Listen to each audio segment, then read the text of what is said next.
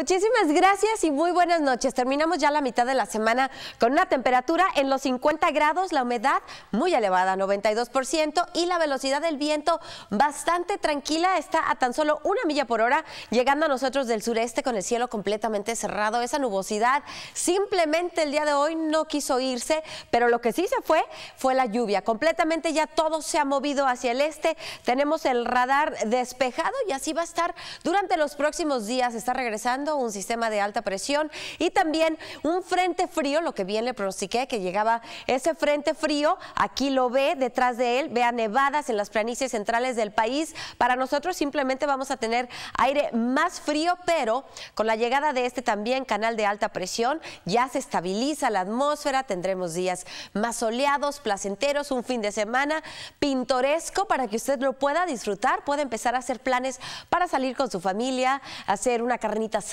o alguna actividad al aire libre. El día de mañana, con ese sistema frontal del que le comenté, bueno, pues la temperatura va a descender a los 51 grados. No vamos a sentir mucha diferencia comparada con el día de hoy, que también estuvo muy estable en los 50.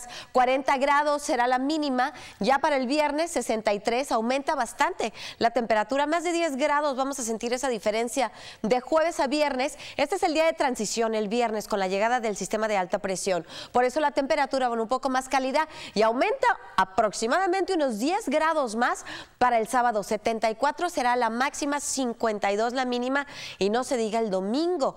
Coqueteando con los 80 grados, vean nada más esto, soleado completamente. Será un domingo muy agradable y al inicio de la próxima semana pues también con la temperatura en los mediados 70.